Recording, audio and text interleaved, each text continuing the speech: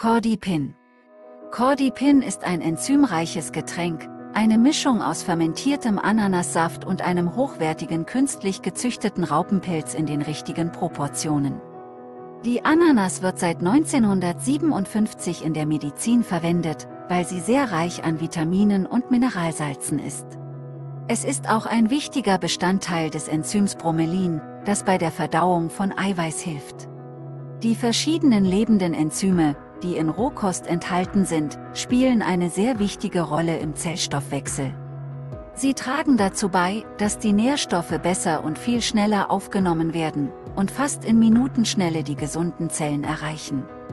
Nach einer Aussage des Johns Hopkins Research Institute sollten wir 80% rohes Gemüse, Nüsse, Vollkornprodukte und Früchte essen, da der Gehalt an lebenden Enzymen bei 40 Grad Celsius verloren geht. Mit einer solchen Ernährung kann Krebs fast hundertprozentig vermieden werden.